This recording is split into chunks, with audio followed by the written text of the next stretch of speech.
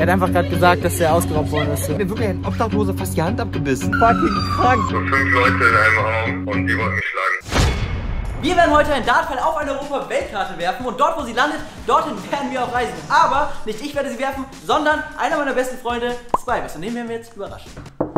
Wir haben eine Überraschung für dich. Überraschung? Es wird ein großer Tag heute werden, mein Großer Lieber. Tag? Ich drehe dich jetzt gleich um und dann darfst du auf eine Fläche werfen. Es passiert etwas Spannendes mit dem, wohin du es getroffen hast. Und ich würde sagen, du darfst dich einfach mal werfen. So dumm, Bruder.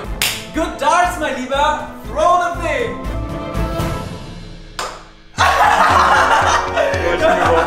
Was ist los? Einen Atlantischen Ozean. Wir werden jetzt heute noch dorthin reisen, wo du auch getroffen hast. Die nächste Stadt wäre, wäre Dublin. Geil. Geil. Auf nach Irland, Let's go! Ready? I am fucking ready.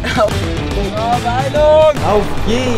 Wir waren vollkommen hyped auf das Abenteuer, allerdings gibt es noch eine Überraschung, von der ich euch noch erzählen muss. Was Bibes nicht weiß, ist, dass er hier keinen Urlaub machen wird, sondern dass es eine Challenge geben wird. Und das werden wir ihm jetzt auf diese Karte hier schreiben. Hier, wir haben jetzt noch genau 5 Minuten ans Geld zu kommen, deswegen müssen wir uns echt beeilen. Let's go. Das Boarding hat schon angefangen. Schon angefangen, wir sind immer noch hier.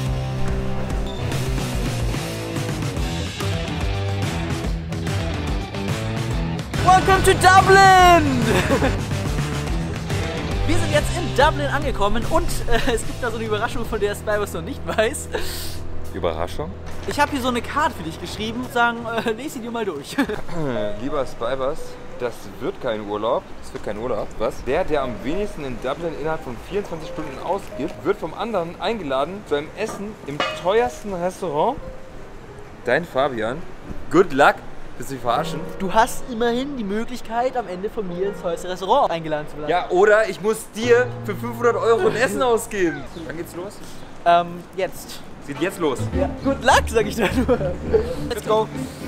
Ich glaube, Spybus holt sich einfach ein Taxi oder holt sich einen Schernau und fährt alleine hin. Ich spare am meisten Geld, wenn ich mir keinen Bus nach Dublin in die Stadt reinnehme. Wir werden aber Leute fragen, ob sie uns mit nach Dublin nehmen. I'm trying to get to Dublin. Are you guys willing to take me to Dublin?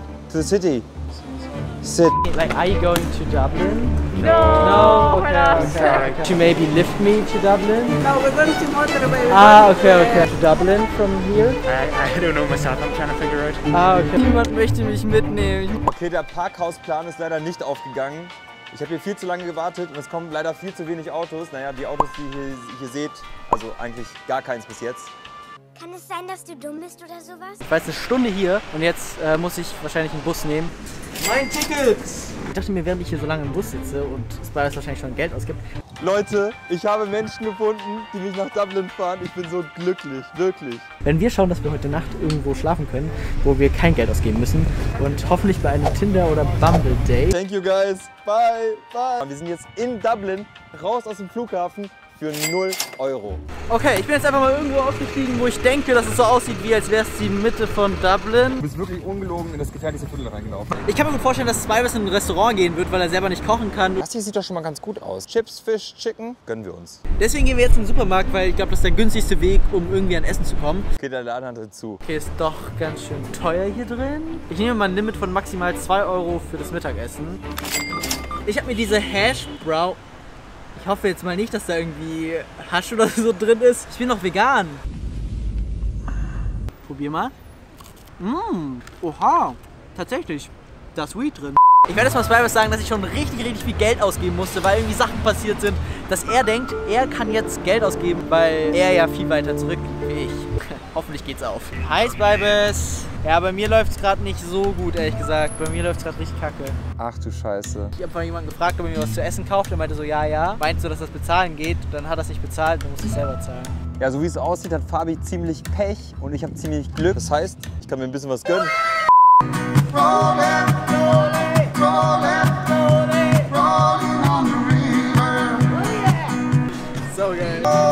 ihm haben wir jetzt gerade auch nochmal so einen Euro oder so gespendet. Manchmal muss man auch ein paar gute Daten machen. Leute, ich habe jetzt eine Mission und zwar ein gratis Tattoo.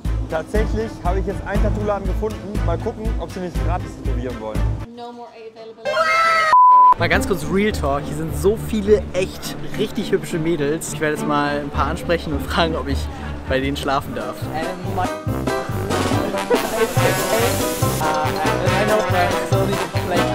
Um,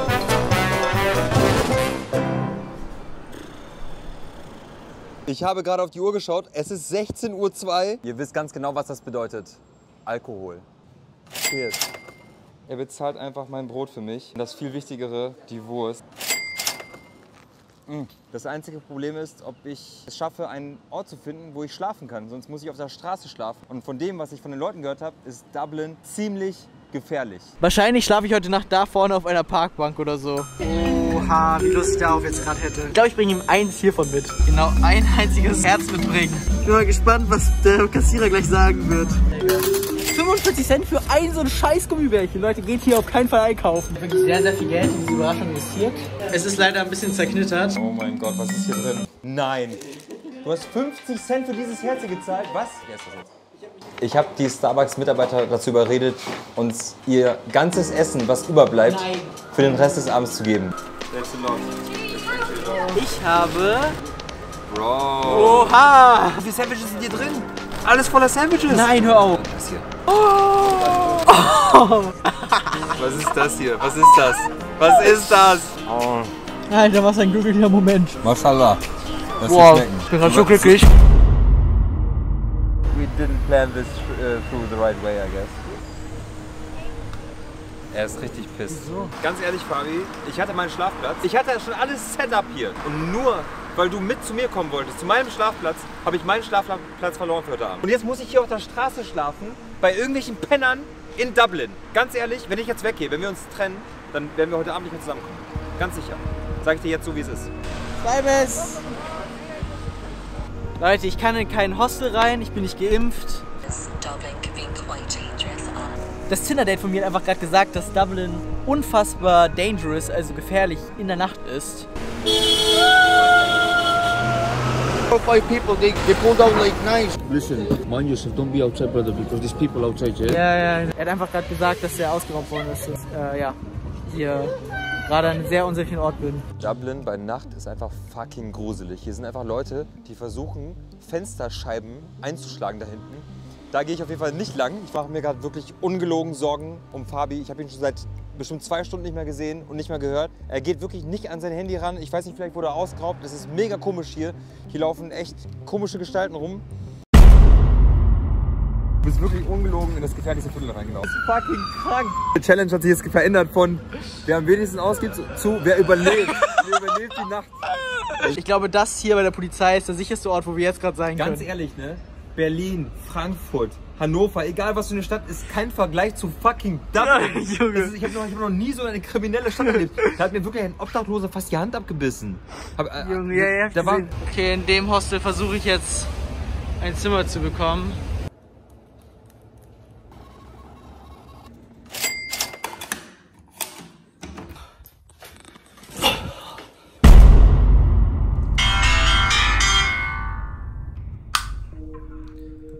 Was ist los? Ich, äh, ich bin irgendwo ziemlich weit außerhalb von Dublin. Okay, So ein Typ meinte, er kann mich mit nach Hause nehmen. okay, Ich bin angekommen. Da waren irgendwie so fünf Leute in einem Raum okay. und die wollten mich schlagen. Was? Ja, die, haben, die wollten mich schlagen. Nein. Doch kein Scheiß. Der eine hat sein T-Shirt ausgezogen und wollte mich richtig schlagen. Was für ein Abend, Alter, was für ein Abend. Ich meine, so, was macht der Typ hier? Dann fing die an, meine Schuhe zu schmeißen und so.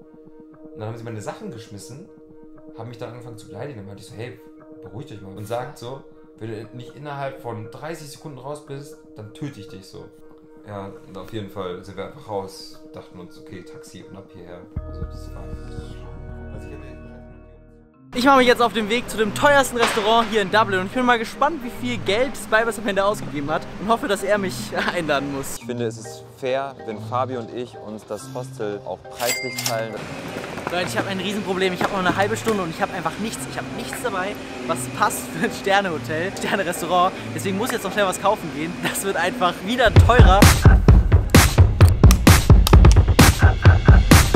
Wir stehen jetzt vom teuersten Restaurant in ganz Dublin und äh, ich bin mal gespannt, wie viel Spybus ausgegeben hat. Erst wenn die, Erst Rechnung, kommt, erfahren wir, wer zahlen muss. Das heißt, wir können so viel bestellen, wie wir wollen. Wir wissen nicht, wer zahlen That's muss am it. Ende. Let's go inside. Teuerste Glas Wasser, was du jemals bezahlen wirst. Wie teuer ist das hier, bitte? Ja, aber weißt du was, Spybus? Ich hau richtig rein, weil ich darauf poker, dass du es am Ende bezahlst.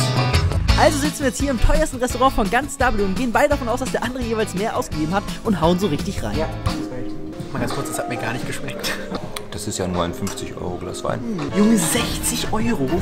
Sogar 60? Ich glaube, das teuerste, was ich in meinem Leben gegessen habe, war ein Triple Whopper.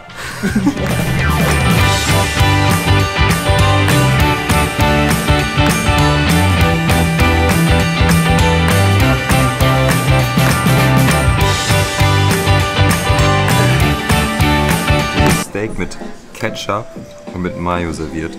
Einfach Steak rot-weiß. Okay, Leute, das war doch keine Mayo. Das war äh, Knoblauch einfach gerieben.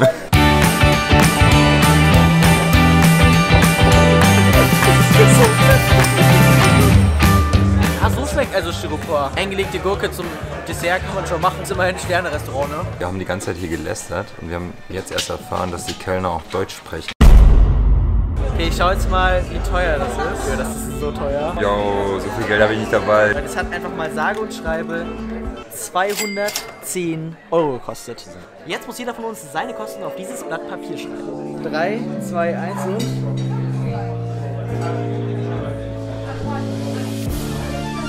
Nein. Nein. Viel Spaß beim Bezahlen, Fabi. Deine Rechnung, das Essen war fantastisch. Wir zahlen aber 222, einfach weil es eine geile Zahl ist. es ist bezahlt.